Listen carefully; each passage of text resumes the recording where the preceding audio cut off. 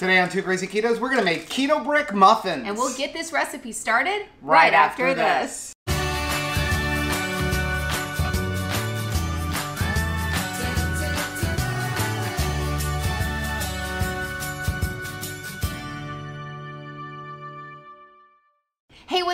I'm Rachel. And I'm Joe. And we are Two, Crazy, Ketos. If you're new to our channel, welcome. Here on Two Crazy Ketos, we do different things like product reviews, we do recipe videos, we talk about various keto topics, and then every Monday we sit down on the couch for Keto on the Couch, where we just kind of talk about what's going on in our lives for the week. You can find us on different social media platforms like Facebook, Instagram, and Twitter. And we have a website, which is twocrazyketos.com, and that's where you're going to find all of our different recipes. Now, we do upload at least five new videos every single week, so make sure you subscribe to our channel. And don't forget to hit the little bell icon, and that way, every single time we upload a new video, you'll be alerted to it. yeah, so today we're going to make mug cakes using a keto brick. As the only fat source. Yeah, this is going to be the only fat source. And I mean, we love keto bricks. We've been eating them since they first came out. Yeah. And if you don't know what a keto brick is, they're actually a meal replacement bar, and they're a thousand calories for the bar. Which sounds scary. It does sound scary, but again, it's supposed to be a meal replacement bar.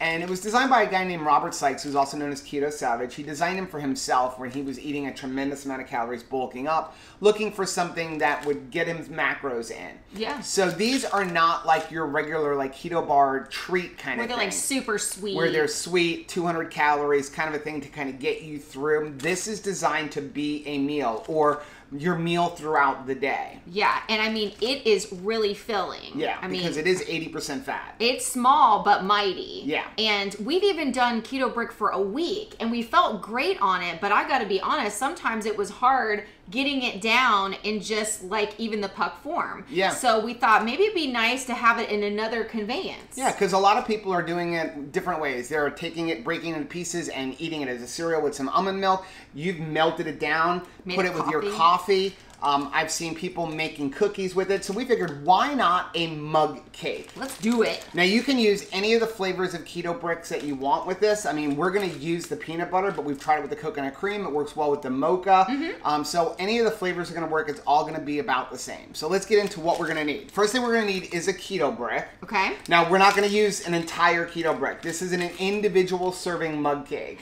If yeah, oh, oh my goodness, like a thousand calorie mug cake. Yeah, no.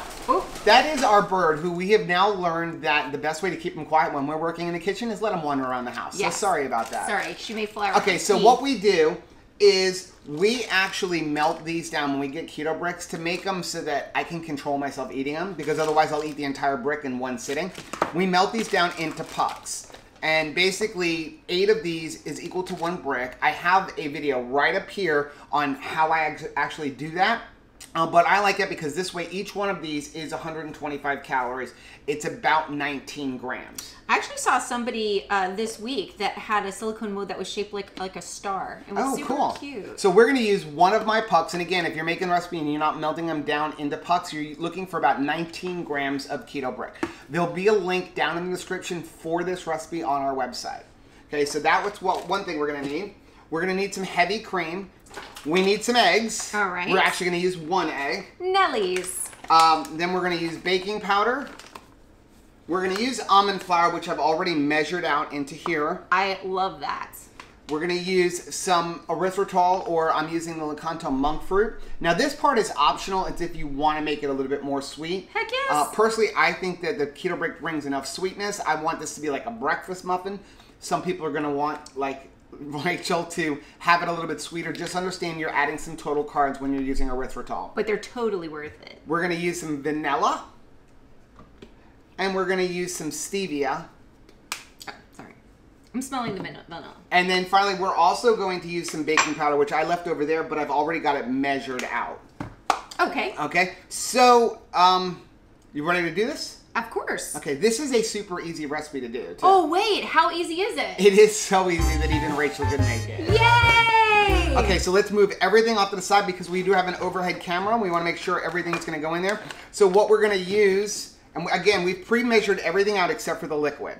So we're going to use a little ramekin, uh, but you can also use a mug, obviously. They make a really cute muffin, almost the size of a Costco muffin. Yeah. Okay, so what we're going to do is put the one keto brick in there, and we're going to go melt that, or one keto puck, Yeah. 19 grams, and we're going to melt that. Takes about a minute to melt when it's in this form.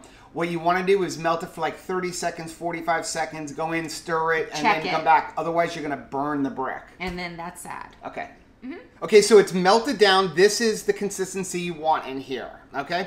So now what we're gonna do is we're gonna add the rest of our ingredients. We're gonna add the egg last, so that you don't cook the egg by accident, because that is super hot. It is. Okay, so we're gonna go two tablespoons of almond flour. Like I said, I've already got everything pre-measured out to make this video a little bit faster. Boop, boop.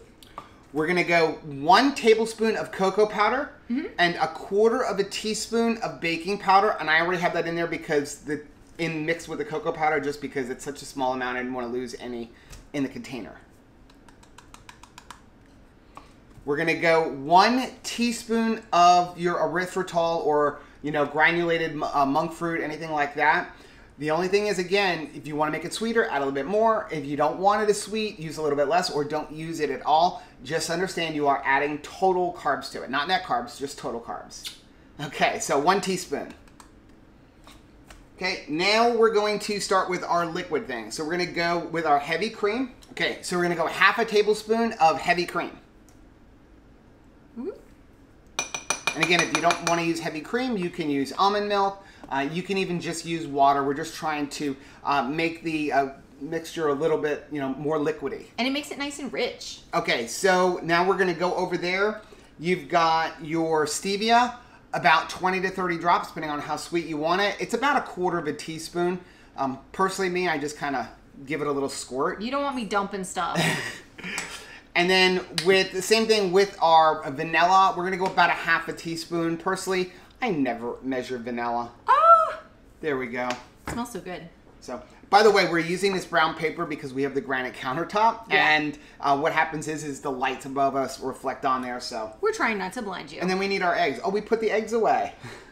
Whoa, Nelly! Do you know my Nellie's t-shirt is one of my very favorite t-shirts? Is it it's really? so comfortable. It's like weirdly comfortable. We got that T-shirt because if you like send in ten of these proofs of purchase. Yeah. Okay, so one egg, and now we're simply going to mix it up. I use a fork to mix it up because it allows me to kind of get into the edges. You want to make sure you really incorporate this well.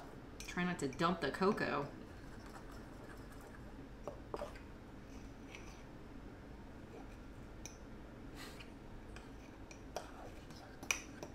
Okay, are you done here? I think so. Okay, just make sure everything is really well incorporated. You've gotten down into the edges, and this is what it should look like. This should be about the consistency here, so you can see. Looks almost like brownie Yeah, batter. kind of like a brownie batter. Okay. Okay. Um, you're gonna go depending on how gooey you want it. I want it gooey. You want like a minute and a half, uh, like a minute 15 to a minute and 30 seconds. Uh, so put it in there for about a minute and 15 seconds. Here we go. Okay, so here we go. This is what it's going to look like. I'll put it right here. Nice and spongy. I always use a knife to just kind of separate the edge. Now, I don't know, every time I make a mug cake, sometimes the bottom fills out and sometimes it kind of looks like a triangle. It's got a like a bizarre looking stump. Let's see what it looks like. So it's got a half a stump. Half a stump. Look at that. I don't know why, it's, it's just the cooking vessel. So that's what it looks like. Let's go ahead and cut this in half. Doesn't um do anything to how good it tastes. No. Because what it is, it's about the flavor and the texture. And take a look at that. Super spongy. see if you guys can see it maybe up there. Look at that. Isn't that amazing looking? Looks like eyeballs. Okay. Here we go. It is nice and warm. And very like dense. Look at that. Yeah. So it is. It is very spongy. It's just it's like a cross between like a cupcake and a muffin. And I think this is perfect for breakfast. Yeah. Ready? Mm. Wow. This is something that's going to make you happy to go to work. Yep. Now again, we're not making it super sweet. To me, it's just sweet enough, especially if you want to put some butter on top of it or something like that. Oh yeah. Okay. The other thing is, you could really experiment with this recipe. So you can take this base recipe, add some chocolate chips inside of it, that'll up your sweetness. Oh wow. You can even cut out the erythritol and then add some chocolate chips and just have a, your muffin with little bites of chocolate chips and maybe increase the stevia. You could put some nuts in it. some nuts, get some PB Fit powder, put maybe a tablespoon of PB Fit powder in there. Um, lots of different things. My favorite thing to do is take cream cheese. like maybe an ounce or a half an ounce of cream cheese. Break it up into little tiny bits, and then after you've mixed your batter, just kind of drop it in there, give it one little Oh, twirl, wow. and every time as you when you bake it, the cream cheese isn't going to incorporate. So when you take bites, you're going to get little bits of cream cheese. How nice does that sound? So let's go over the nutrition on these. So one muffin, uh, which is utilizing 19 grams of keto brick, which is one of our keto pucks. And it's a giant muffin. It's a nice size muffin. It's really going to fill you up. It's going to be 318 calories, 27 grams of fat, Wow. 14 grams of protein, nine and a half total carbs. which fits. I mean, you can still use that in your day. Yep, three and a half grams of fiber, Mm-hmm. uh, four sugar alcohols coming from the Lakanto monk fruit sweetener or erythritol, whichever one you're using. So two net carbs. So two net carbs. Now, if you want to lower the total carbs, cut out the erythritol, double up the stevia, and then you'll be up at like six and a half total carbs on the muffin. Okay, so that is something to think about. And the great thing is, is this still holds really good keto macros, coming in at about seventy-eight percent fat For a breakfast. for a nice breakfast. Gives you a little bit of an option if you're, you know, tired of bacon and eggs, tired of just having a fat coffee, want a little bit something to eat. This is your answer. And if you're trying to stretch the value of your keto brick, Right. so like you know you're paying for it, this is going to stretch out your keto brick and give you su- like a great size Yeah. food. If you're eating like me an entire keto brick for the day, but you're like, wow, that's not a lot of actual eating, you want to make it go a little bit more, making one of these and then eating the rest of the keto brick and throughout the day, Mm-hmm. that'll help stretch the amount of food you get to eat without adding a whole lot of calories. you know it. I'm all about that. So that is our video for today. Let us know down in the comment section if you make these and let us know what flavor keto brick you're going to use for it. Yeah, because we've done coconut cream and I really like that one. Yeah, it works well with all of the different flavors. Now, with the coconut cream, I would say this because uh, there's chunks of coconut in there, it takes up a little bit of the room. It does. I'd probably up your heavy cream to about a tablespoon. Yeah. But other than that, all of the other flavors work really perfectly just as is with this recipe. And again, the recipe is going to be linked down in the description.